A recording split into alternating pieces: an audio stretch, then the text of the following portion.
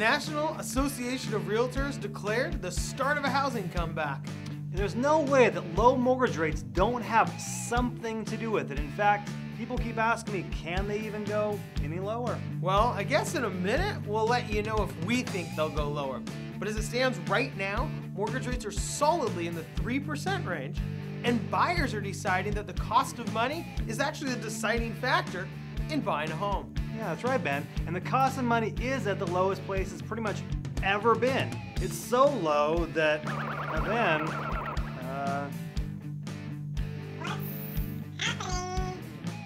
Mortgage rates are so low, we had to call this Mortgage Resource TV, Honey, I Shrunk the Interest Rates, and the Mortgage Brokers. I'm Ben Brashen. and I'm Ryan Leopold. Welcome to the historically low mortgage rate edition of Mortgage Resource TV.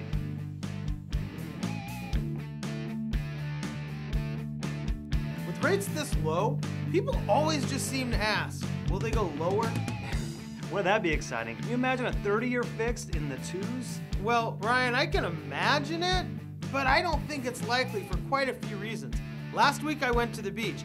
This week I'm drawing a line in the sand.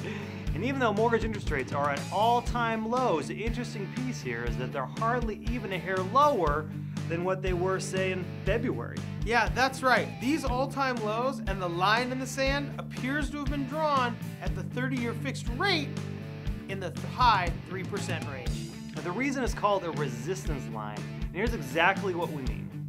This is a mortgage-backed security chart which actually drives interest rates.